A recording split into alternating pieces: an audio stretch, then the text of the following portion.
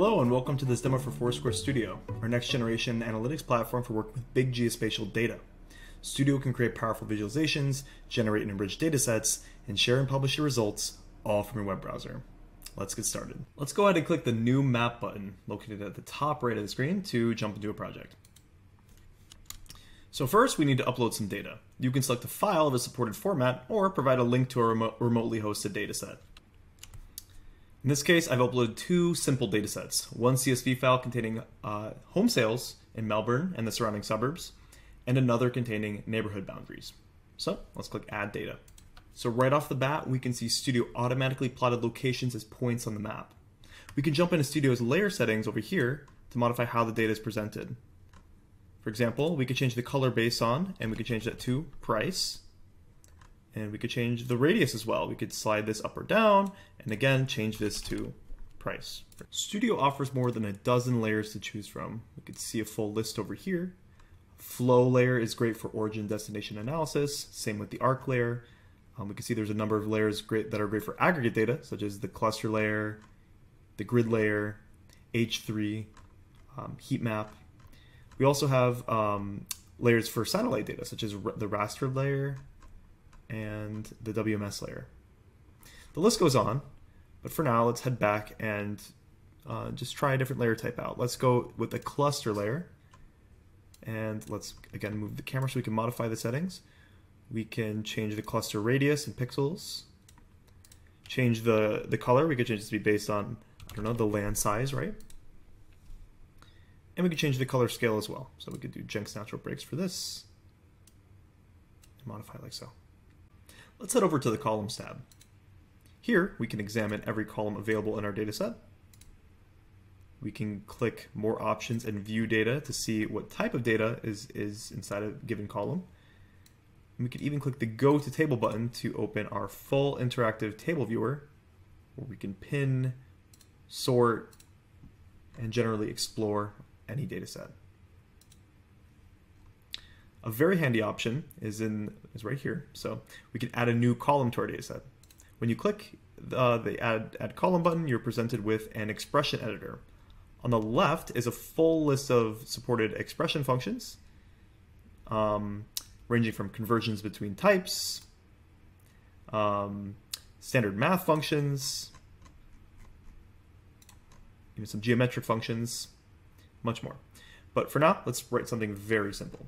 Say, for instance, we're not interested in the raw price of a property, but instead the price per meter.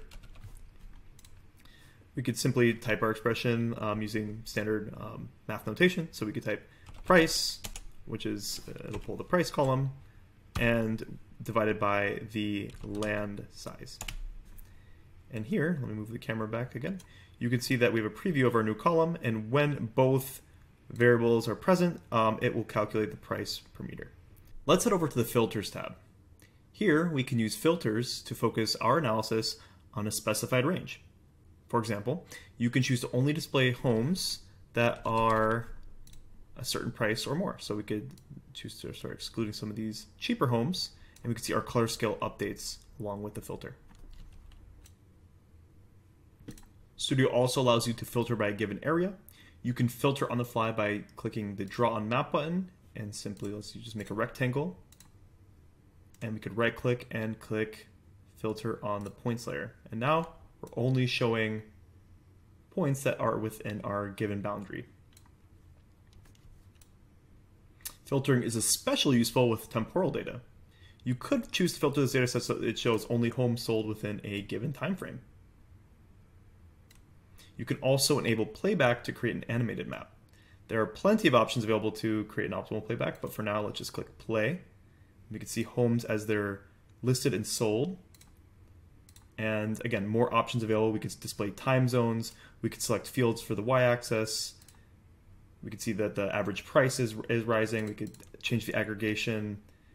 Um, truly, there are a number of options available to us. Now let's explore an advanced feature from Foursquare Studio, Spatial Join. This feature allows us to combine attributes across datasets based on geospatial proximity.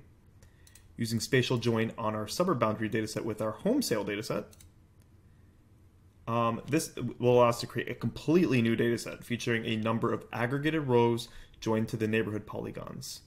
Now, let's start cleaning up the map and optimize it for presentation. So let's open the map legend first. The default map legend indicates the exact number each color represents, but it doesn't provide any qualitative information. You can easily click on the legend's text to add or replace it. There are also a number of interactions available to enhance the experience for your map viewers. We can customize columns that appear in the mouse over tooltip.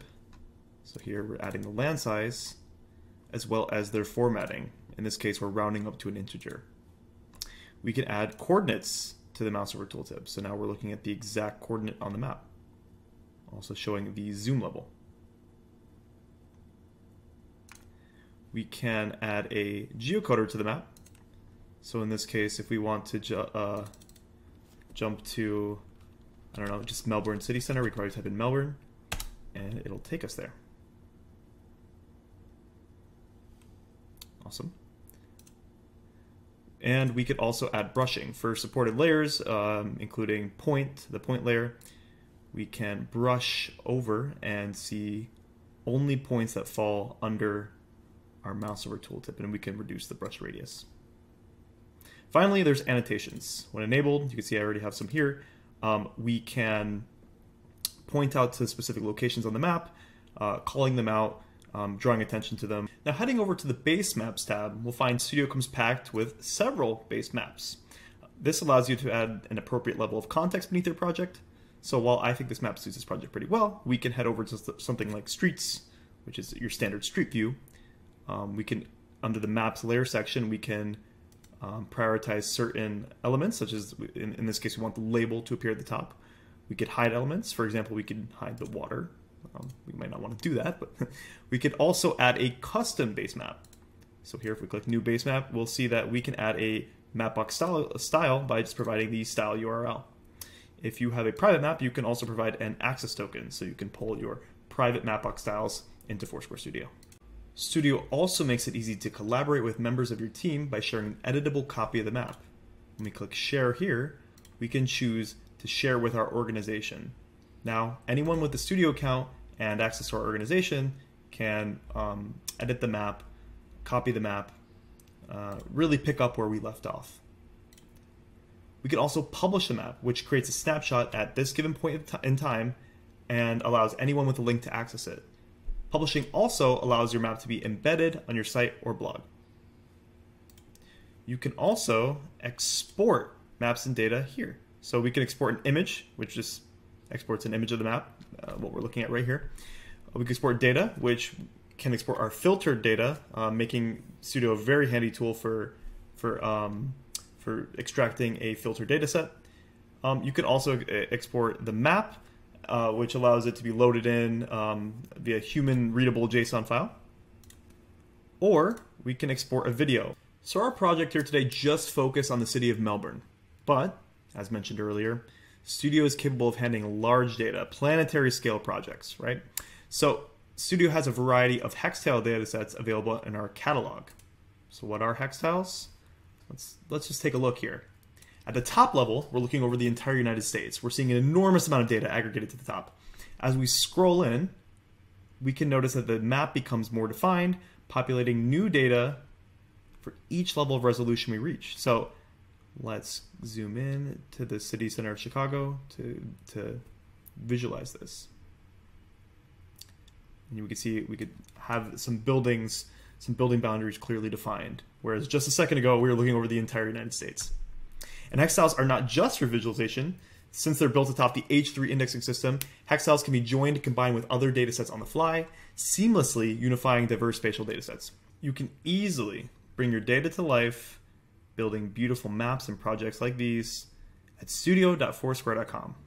Create your free account today and happy mapping!